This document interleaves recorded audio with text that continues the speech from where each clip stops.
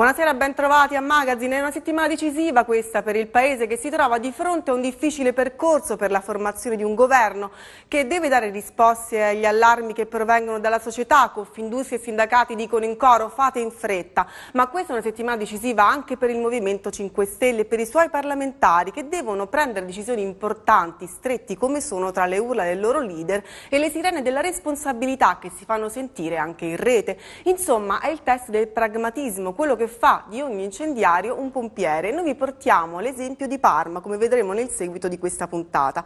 Vi presento i nostri ospiti, in studio con me ci sono la senatrice Laura Puppato, buonasera, ben trovata, grazie per essere venuta, sappiamo che è una giornata difficile.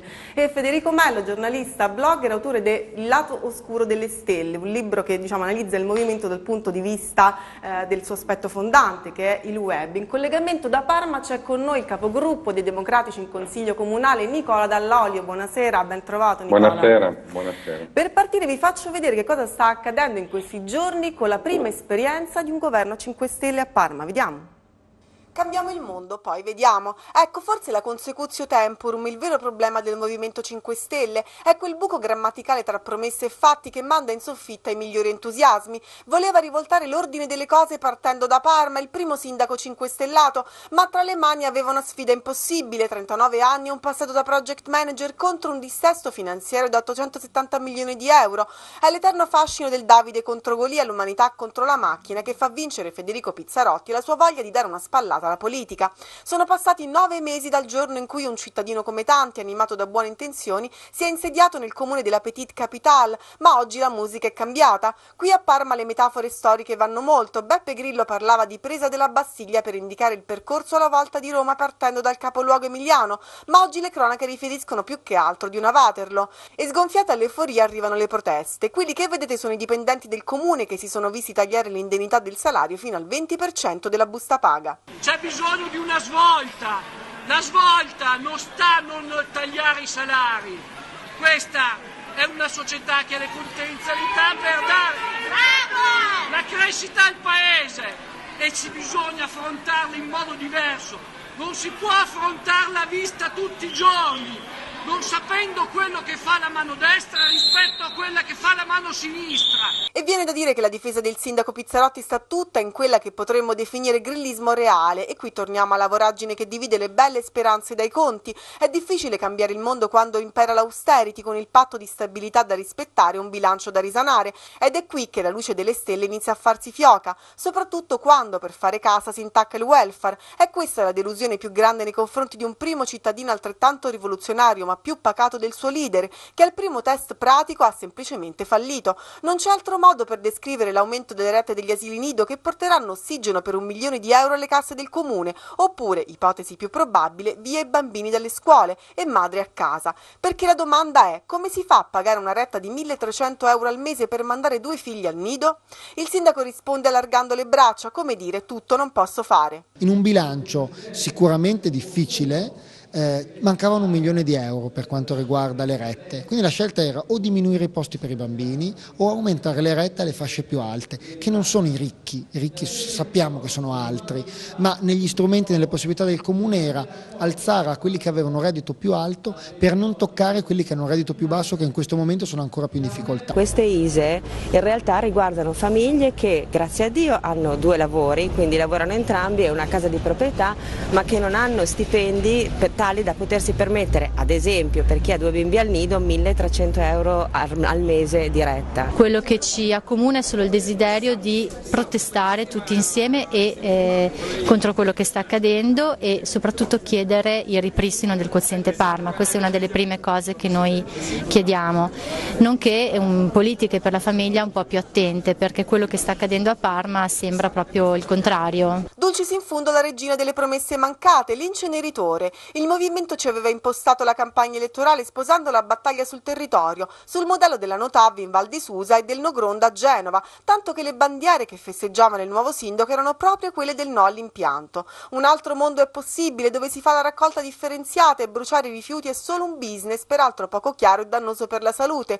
Tutto vero, ma la realtà dei fatti cosa dice? L'impianto è partito, seppur in via sperimentale, il sindaco si difende con uno scudo di carta velina. Le battaglie non si fanno per vincerle. Ero contro, rimango contro e sarò sempre contro a una logica di gestione dei rifiuti che non sia virtuosa, che non parta dal dobbiamo eh, cercare di recuperare il più possibile tutta questa materia che inevitabilmente se no andiamo a bruciare e quindi a distruggere. Quindi era, il fatto di essere contro non vuol dire che il, il processo che era iniziato nel 2010 come iter di costruzione e come di approvazione dal punto di vista della comune quindi in, in, ottica centrodestra, della provincia in ottica centrosinistra, quindi tutti d'accordo nel 2005 sono partiti per costruire questi inceneritori, quindi arrivati noi al 70% della costruzione come dire, l'impegno c'è, c'è stato e ci sarà sempre perché non è una battaglia persa e comunque queste iniziative non si, non si iniziano pensando solo di, di vincere.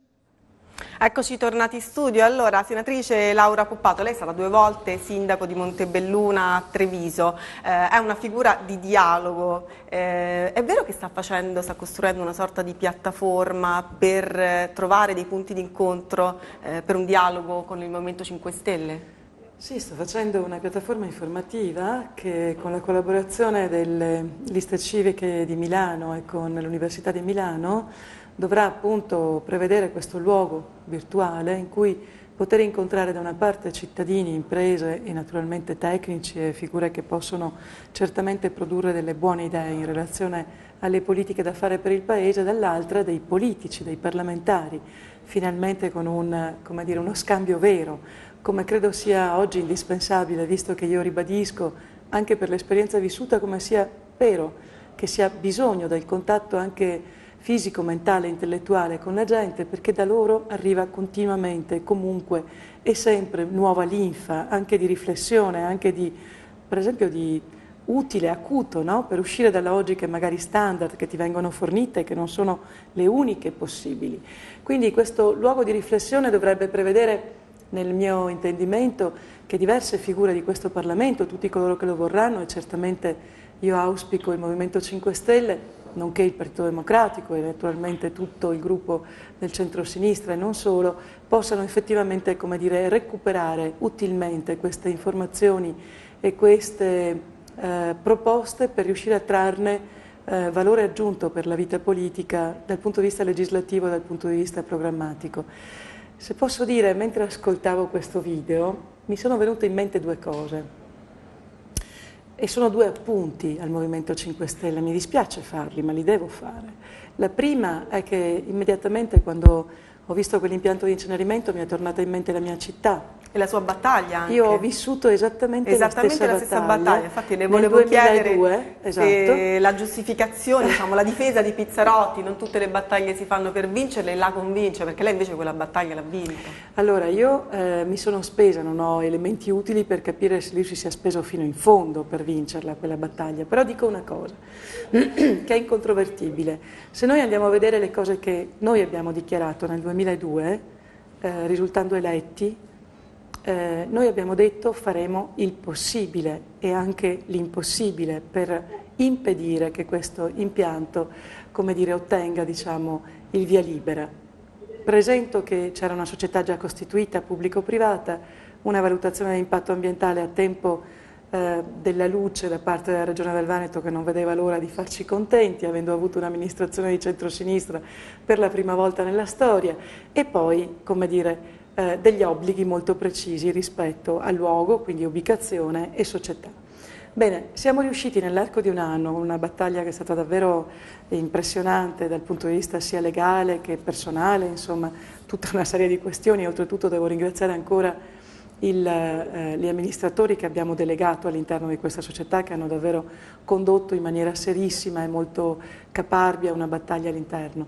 Ma devo dire, a distanza di un anno noi avevamo la città che era già partita con la raccolta differenziata più alta d'Italia, mm. mm. oltre i 20.000 abitanti, e abbiamo cancellato la società e l'impianto di incenerimento, avendo promesso di fare il possibile. Eh, costoro a Parma avevano garantito, garantito. di non fare l'impianto e gliel'hanno fatto Peraltro, fare. quando ho intervistato cioè... il sindaco mi ha detto proprio questa cosa qui, mm, mi ha detto praticamente l'impianto era già, come dire, eh vabbè, ma un si doveva dire. fatto, la stessa cosa eh no, ma lo si doveva dire perché la correttezza, che io non, non concepisco si possa continuare così in questo Paese, la correttezza vuole che in campagna elettorale si facciano affermazioni e promesse che siano almeno verosimili non che si mantenga lo 0% di quanto affermato.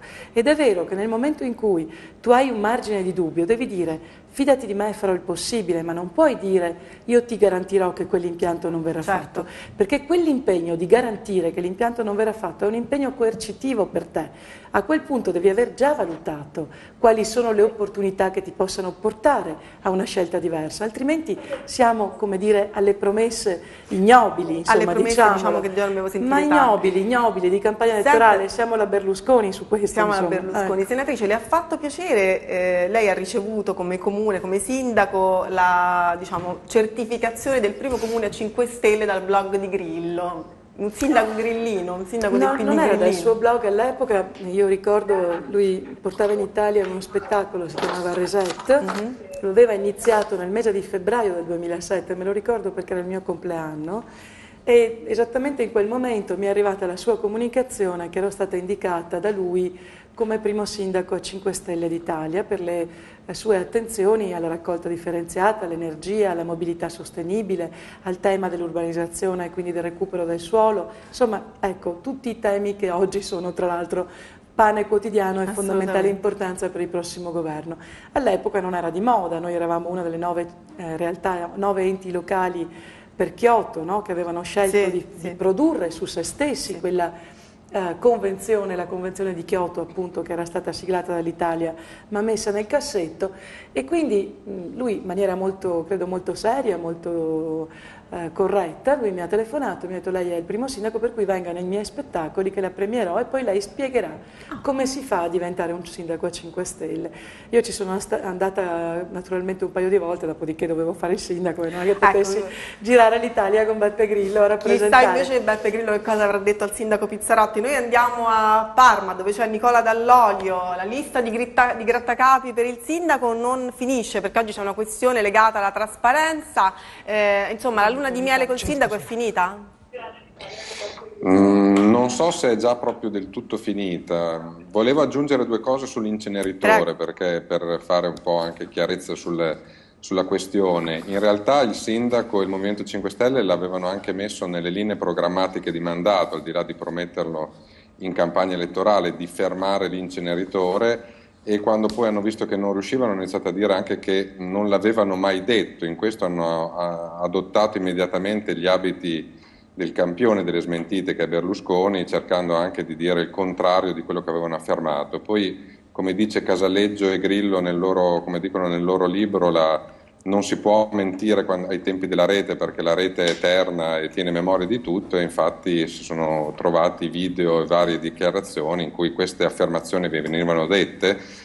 E, ehm, la, il fatto è che questo inceneritore, come ha detto, ma solo a posteriori, eh, Pizzarotti era già di fatto quasi ultimato, quindi era in uno stato molto diverso rispetto alla situazione di Montebelluna e al di là della, del fatto che si condividano i principi generali di andare a rifiuti zero, di non avere più, di uscire, diciamo, rottamare eh, nel tempo gli inceneritori e cercare di avere il massimo recupero di materia, ma eh, bisogna poi confrontarsi anche con la realtà, con l'eredità del passato e, e, con quello che può fare una pubblica amministrazione, può fare un comune. Quindi questo non è stato raccontato al momento della campagna elettorale. Ehm, dall'altro punto di vista ci sono vari altri aspetti che hanno deluso ehm, e che possono dare diciamo, l'idea che la campagna eh, si stia per eh, fermare, la, la, la, luna, la, luna, di miele e ehm, uno di questi è stato legato alla eh, per esempio a quello che avete citato nel vostro servizio, alle rette per gli asili e per le scuole materne. Ecco Nicola, si poteva fare eh, qualcos'altro, nel senso il sindaco quando l'ho intervistato mi ha detto io con questo bilancio da risanare, col patto di stabilità da mantenere, non volendolo sforare, non avevo altra scelta che o tagliavo i posti negli asili nido oppure aumentavo le rette, al che io gli ho chiesto, scusi, ma eh, insomma da madre come si fa a mandare due bambini all'asilo nido e pagare 1300 euro al mese per redditi, parliamo di redditi medi? E lui mi ha detto che tutto non si può fare. Uh, no, si poteva fare, noi abbiamo anche presentato delle proposte eh, quando si è discusso il bilancio, degli emendamenti al bilancio, perché in realtà eh, abbiamo una situazione, in, di fatto eh, l'amministrazione comunale sta proseguendo ehm, le scelte del commissario, sapete che dopo la giunta eh, PDL è stata poi commissariata, quindi c'è stato un periodo commissariale in cui sono stati portati ai massimi i tributi, l'IMU, l'addizionale IRPEF, sono stati tagliati qualsiasi tipo di investimento, fermati anche altri mutui. Di fatto con, eh, con l'IMU si è avuto un gettito tributario altissimo e si sta eh, operando facendo dei grossi accantonamenti che devono servire a affrontare evidentemente dei debiti pregressi, anche debiti fuori bilancio, ma in realtà queste cifre di accantonamento possono essere sicuramente modulate. Il problema è che eh, viene usata la difficoltà di bilancio che sicuramente esiste come una giustificazione per non fare poi delle scelte politiche, perché è quello che deve fare. Le risorse sono scarse, l'economia serve a quello, serve a destinare a fini diversi risorse scarse. In questo caso c'è una gestione commissariale, il vero sindaco, un sindaco tecnico che è l'assessore al bilancio, che è sicuramente una persona competente ma non ha nessun feedback politico da parte della, della giunta che, eh, in particolare dal sindaco, che commette continuamente degli errori salvo poi tornare indietro, tant'è che sulla questione delle rette adesso non hanno accettato le nostre proposte in sede di eh, approvazione del bilancio, ma stanno cercando di trovare qualche soluzione qualche alternativa, qualche aggiustamento a posteriori perché adesso ci sarà l'avanzo di bilancio e pare che questo avanzo, visto che non si è speso niente nel 2012, sia di svariate decine di milioni di euro. Tutte cose che si sapevano prima, quindi senza entrare nel tecnico, è semplicemente quello è stato un errore politico, così come è stato un errore politico anche quello sui dipendenti comunali, di anche incapacità di confrontarsi, di fare ascolto e a differenza di quello che dicono anche di fare partecipazione, ascoltando anche le rappresentanze, i corpi intermedi, insomma tutte, tutte le figure che ti possono Mm-mm. dire come stanno le cose. Sempre si va diciamo, alla rottura, allo scontro, a scelte unilaterali, salvo poi quando monta la protesta cercare di trovare dei rimedi che ovviamente hanno poi costi sociali e economici molto superiori a quelli che si potevano fare prima. Nicola, dopo torniamo da lei. Io vorrei dare la parola a Federico Mello, il quale appunto ha analizzato il movimento dal punto di vista del web, della rete, insomma la sua parte fondamentale. Eh, però adesso il movimento pare soffrire di una sindrome d'accerchiamento, no? Grillo parla di accusa la rete che fin qui insomma, ha esaltato moltissimo, eh, dice che insomma, ci sarebbero dei plotoni di, di, di, di, persone dedicate che tutto il giorno stanno lì a eh, svalutarlo, screditarlo, è possibile questo?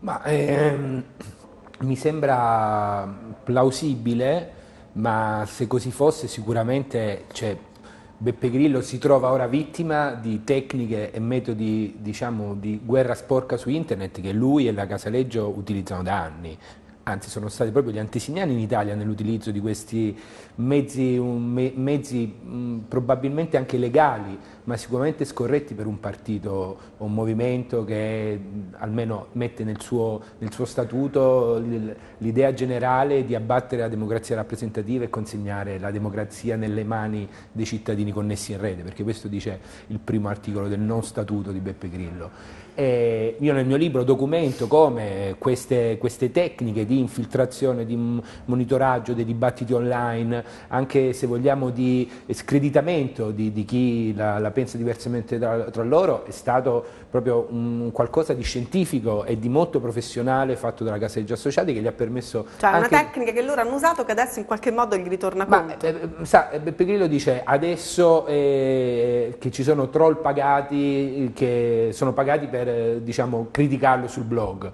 Io non so se sono pagati. Io ho usato altre parole, eh, eh, però, non... però eh, cioè, diciamo, eh, colpisce il fatto che eh, Beppe Grillo, come in tutto, fondamentalmente operi una manipolazione della comunicazione, dicendo delle cose in base alla sua convenienza. Quindi fino a, fino a poco tempo fa eh, lui afferma di aver fatto un programma in rete perché ha ricevuto dei commenti delle sue proposte, ma poi il programma è rimasto quello proposto da lui. o per esempio l'altro giorno, quando lo speaker, questo giornale tedesco, ha definito Beppe Grillo l'uomo più pericoloso d'Europa, lui sul suo blog ha pubblicato un, un, articolo dicendo sì è vero che lo Spiegel dice questo, però i commenti dei lettori dello Spiegel dicono che invece il Movimento 5 Stelle è una realtà positiva. Quindi anche questa voce della rete, se vogliamo, è utilizzabile per fini propagandistici fondamentalmente. No? Non credo che la, la rete in quanto tale sia rappresentativa di alcunché, tranne che non vengono date delle regole ben precise. Ma quello che finora ci aveva raccontato, che era eh, dire, i commenti in rete a esprimere una democrazia maggiore, ora ci dice che in realtà questi sono infiltrabili e manipolabili. Secondo me un po' tutto rientra nelle contraddizioni di Beppe Grillo e anche il caso di Parma ne è un esempio abbastanza preciso, perché cosa ci insegna Parma? che fondamentalmente lo scontro con la realtà eh, del Movimento 5 Stelle e di Beppe Grillo eh, ha, ha, mostra sempre un po' la corda, perché finora Grillo nel suo programma ha tenuto proposte di destra, proposte di sinistra, non ha voluto scontentare nessuno, ha lavorato sul paradosso, sulla battuta, adesso governare è un'altra cosa. Eh, Federico Pizzarotti, io non ho dire, grandi motivi per criticarlo se non quello già detti dalla senatrice Puppato, e l'inceneritore, ricordiamo, nella cosmologia grillina non è qualcosa di secondario, una battaglia fondamentale come quella Notav. Ricordo che a settembre, quando Pizzarotti era in carica da due mesi, Grillo ha questa iniziativa proprio a Parma sull'inceneritore che chiamò Die Siren, quindi citando l'azienda che apre l'inceneritore, disse l'inceneritore non si farà, dovrà passare sul suo corpo indicando Pizzarotti. Però Pizzarotti, almeno da quello che mi raccontano i cittadini di Parma, i colleghi che lavorano a Parma, fondamentalmente sta facendo sul comune qualcosa di simile a quello fatto da Mario Monti lo scorso anno. Cioè, niente... Sta facendo il tecnico dell'austerity. Sì, sta facendo insomma. il tecnico dell'austerity, sì. però eh, anche, come diceva il consigliere comunale di Parma, eh, io non penso che la politica è fatta da tecnica, è fatta da scelte politiche appunto. Allora il fatto che Pizzarotti non abbia una linea politica chiara rispetto a, a venire incontro alle fasce più deboli o venire incontro non so, agli imprenditori. E, e faccia un po' eh, come dire eh, l'amministratore fallimentare di un comune con grossi debiti dimostra come mancano dei riferimenti valoriali forti nei 5 Stelle. Cioè chiaramente l'ambiente è una cosa che interessa ma eh, come dire a quali ceti sociali si rivolgono? Anche questa, questa lotta contro i dipendenti comunali che tra l'altro in città ha anche il suo consenso però è un approccio chiaramente di di centrodestra, per carità legittimo, ma questa idea dei dipendenti comunali che non lavorano, che non fanno niente, che quindi se li togli 200 euro dall'oggi al domani se lo meritano perché tanto eh, non lavorano. No? Certo, cioè, vengono al dunque le contraddizioni del grillismo che finché era propaganda e campagna elettorale funzionavano. Ora, qualsiasi cosa si sono trovati a fare in Parlamento, eh, no, ecco, non ne hanno azzeccata una. Cioè, ogni, ogni, cosa concreta o si sono eh, rotti tra di loro, o spaccati. hanno fatto una gaff, o eh, ieri Zaccagnini, un deputato, ha detto che non hanno proposto, presentato proposte di legge perché Questo non hanno personale allora, dell'ufficio eh, legislativo. Ma non è un gioco, un mese da quando si è insediato il governo, i parlamentari del Movimento 5 Stelle che devono cambiare il mondo non hanno presentato nessuna proposta di legge. Com'è possibile? Cioè si scontrano poi con, con il fare? Il fare è difficile per loro secondo lei? Io credo che loro scontino obiettivamente una impreparazione alla vita politica e amministrativa. Questo potrebbe anche essere, diciamo, ritenersi del tutto normale.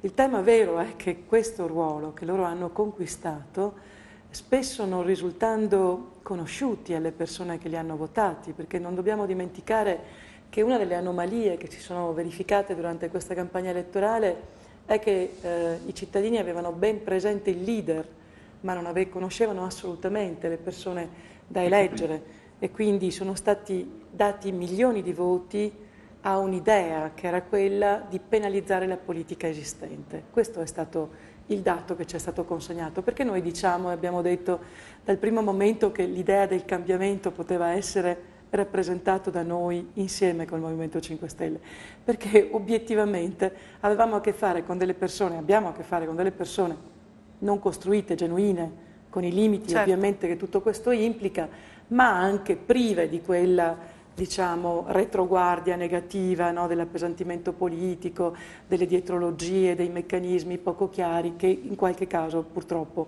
hanno rappresentato in maniera estremamente negativa il governo del Paese. Adesso la situazione qual è? Noi esattamente, eh, prima sempre ascoltando la situazione di Parma, i paralleli, come dire, sono evidenti. Noi abbiamo il Parma a livello Italia.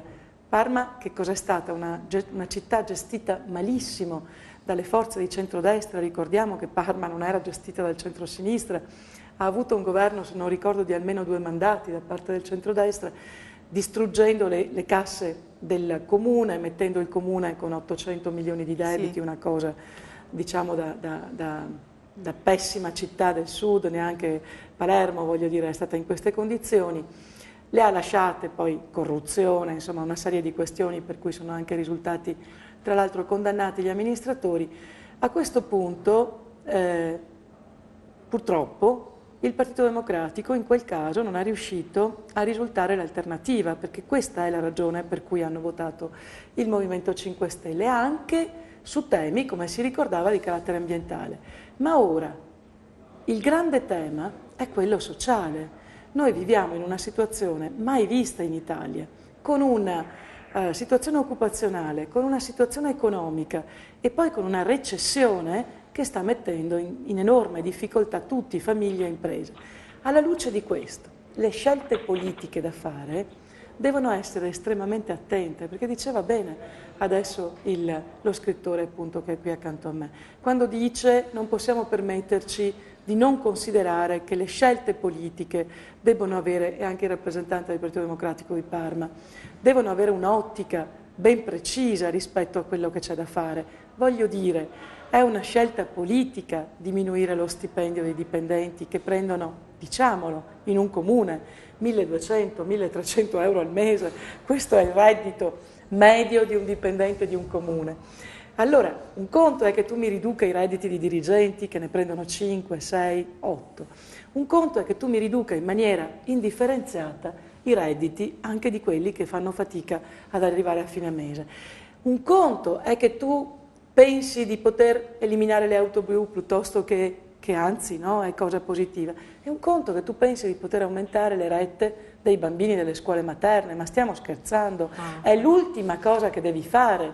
Questo è il meccanismo, il ragionamento, cioè quello che io veramente non riesco più a, a concepire come possibile è che anche i cittadini italiani che hanno votato in un certo modo, credo che insomma, si rendano conto oggi della difficoltà di consegnare un mandato a persone che si rappresentano in un certo modo e poi quando salgono i gradini del municipio piuttosto che del Parlamento se lo dimenticano, se lo dimenticano e si dimenticano le promesse e le garanzie offerte. Allora, ecco. facciamo l'ultimo giro di domande perché siamo quasi in chiusura. Io, Io voglio tornare un secondo solo sì, da Nicola. Devo anche dirti che devo tornare in Parlamento sì. perché sono qui di fuggita. E... Sì, sì, lo so, lo so, lo so. Allora, Nicola Dall'Olio, un secondo solo, volevo, c'è una domanda per te. Ti senti? Sì. Al certo, volo, certo. proprio brevissimo, un portavoce, un esperto web, 20.000 euro per avere un claim. È questa la lotta di Pizzarotti alle spese superflue? Cosa ci dici su questa Ma, questione? Ma guarda, ce ne sono tante. Io adesso secondo me sul discorso non è tanto un discorso di spese superflue, qualsiasi amministrazione poi attiva delle consulenze e ha bisogno anche di esperienze esterne, queste poi si possono andare a valutare, di sicuro non siamo ai livelli che c'erano prima e non credo che sia quello forse il campo vero della, della battaglia. Il problema è che anche l'inesperienza al governo provoca poi dei costi, noi l'abbiamo visto qua con costi ben superiori, per esempio c'era un accordo che andava chiuso per realizzare la scuola dell'Europa, una, una grande opera che è costata 28 milioni di euro, non è stato chiuso anche qua per incapacità negoziale di stare diciamo, ai tavoli e trovare delle soluzioni e poi di nuovo, visto che i lavori sono stati fermati, quattro mesi dopo si chiude questo accordo, però con il fermo cantiere si spendono 700 mila euro in più, più o meno lo stesso, lo stesso importo dell'aumento delle rette eh, scolastiche e delle scuole materne. Quindi qua c'è un problema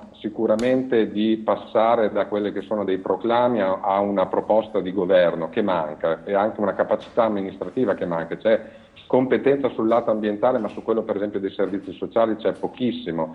Eh, c'è una buona volontà generale, si parla di ripubblicizzazione dell'acqua, ma poi vengono messe in vendita per coprire i debiti le azioni della multi-utility IREN e quindi questo va nel, nel senso contrario. Quindi ci sono queste contraddizioni. Noi però ci dobbiamo anche porre il problema di perché comunque hanno vinto a Parma e del perché hanno eh, ottenuto questo risultato a, a, livello nazionale. Mi spieghi proprio vinto... sinteticamente perché il PD non è riuscito a intercettare accettare la delusione. Ma eh... perché il PD non è riuscito a presentarsi come una forza di vero cambiamento, ha, ha puntato tutto, c'è, c'è, stato il percorso delle primarie, io ho partecipato alle primarie, sono arrivato secondo, si dice così anche se eravamo più di due, eh, e però in quel momento comunque il risultato è stato un risultato abbastanza significativo anche da parte dell'elettorato del PD e non si è riusciti, come anche credo a livello nazionale, a livello nazionale si sono fatte tante cose, le primarie dei parlamentari si è ricambiato l'80% dei parlamentari, ma di questo quasi nessuno ne ha notizia no? e quindi non si è puntato con decisione, con forza, anche avendo dei candidati magari che davano l'esperienza,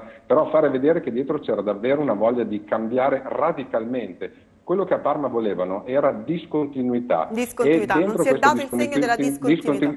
No, non c'è stato, non c'è stato e questo secondo me non lo dobbiamo dare. Poi visto che c'è anche la senatrice Puppato, l'ultima cosa, credo che anche sui temi della sostenibilità e dell'ambiente si è visto che si può costruire consenso e si possono perdere le elezioni. A Parma l'abbiamo perso in Piemonte sono state perse sulla TAP. Questi sono temi ormai che sono all'interno, ormai sono percepiti dall'opinione pubblica, il PD deve sapere che ha al suo interno persone che li portano avanti con coraggio, deve metterli al centro della sua agenda, crederci e pensare anche a un modello di sviluppo un po' diverso da quello che ha proposto fino adesso. Grazie, grazie Nicola, ci sentiamo, a presto, arrivederci. Purtroppo la grazie senatrice, voi, grazie, la senatrice Puppato è dovuta tornare eh, di corsa in Parlamento perché insomma sono giornate difficili, c'è un'informativa di, di Monti in Senato e quindi ci ha dovuto lasciare. Peccato peccato se no le avremmo chiesto eh, della sua battaglia notabile, è stata proprio questo fine settimana eh, in Val di Susa.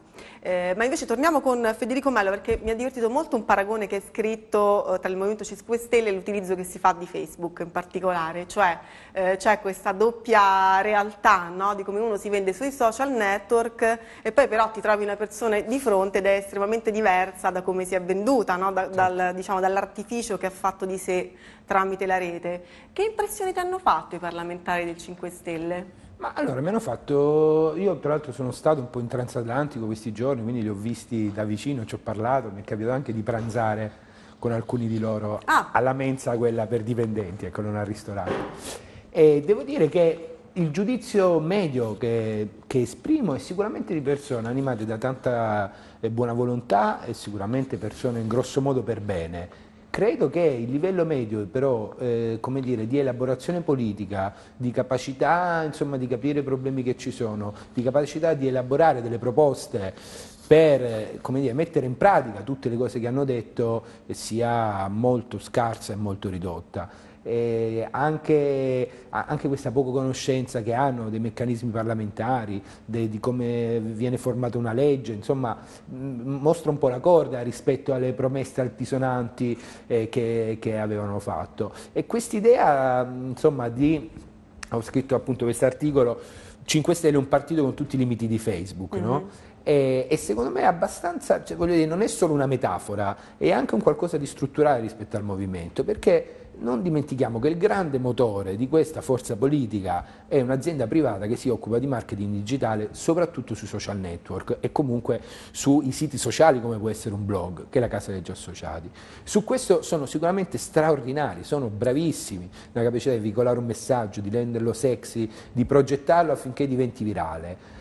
Finché questa cosa avviene in un contesto appunto di campagna elettorale o di alterità, esternità rispetto alla politica, ha sicuramente la sua efficacia. È chiaro che quando avviene con 163 parlamentari le cose un po' cambiano e secondo me, insomma, anche rispetto a quello che diceva il consigliere democratico di Parma, Sicuramente eh, adesso le persone cominceranno anche a chiedere conto ai 5 Stelle di quello che fanno e di quello che non fanno e loro sinora si sono avvantaggiati del fatto di essere effettivamente nuovi, effettivamente fuori dai giochi, di poter eh, screditare la classe politica in virtù di una loro estraneità. È chiaro che adesso che invece sono con le mani e con i piedi dentro, eh, il discorso cambia, secondo me se non si danno una mossa faranno cioè, ci metteranno poco a perdere tutto il consenso eh, accumulato. Lo stesso partito citato spesso dell'uomo qualunque di Giannini negli anni 50, negli anni 40, durò due anni e insomma, ebbe risultati non di questo livello ma simili. Il problema è a un'eventuale crisi dei 5 Stelle a livello elettorale, a livello eh, di consensi, a livello di immagine, E il Partito Democratico però deve contrapporre una figura, un'immagine di cambiamento, di rinnovo, sicuramente dei passi li sta facendo in questi, momenti, in questi giorni, sicuramente la spinta dei 5 Stelle se non riuscirà a cambiare il Paese dal punto di vista legislativo, culturalmente ha imposto dei temi che certo. interessano tante persone e che il PD sta facendo Li suo. Li ha tirati fuori, forse, però visto meglio, che io... Non, tanti temi già c'erano, poi cioè, diciamo sicuramente, sicuramente già c'erano e oggettivamente va riconosciuto anche il fatto che negli ultimi cinque anni il Partito Democratico, comunque il centrosinistra, è stato all'opposizione, quindi quando gli, si, gli vengono attribuiti, c'è stato un anno insomma, drammatico di appoggio a Monti, però quando gli vengono attribuite tante cose non fatte, la legge elettorale, il conflitto di interessi, eh, misure insomma, per i diritti civili, peraltro, eh, e parliamo sempre di un Parlamento diciamo a maggioranza che, azzurra. Negli cioè, ultimi vent'anni ha governato Berlusconi, eh, quindi cioè, questo è Senti, oggettivamente. Federico, c'è una domanda eh, che ci arriva da Twitter. Quali sono le sue considerazioni sul caso del silenzio dei portavoci del 5 Stelle? Lo chiediamo a un comunicatore come te. Eh, eh, secondo me Può essere che c'è un portavoce in silenzio? Ritorniamo alla stessa metafora,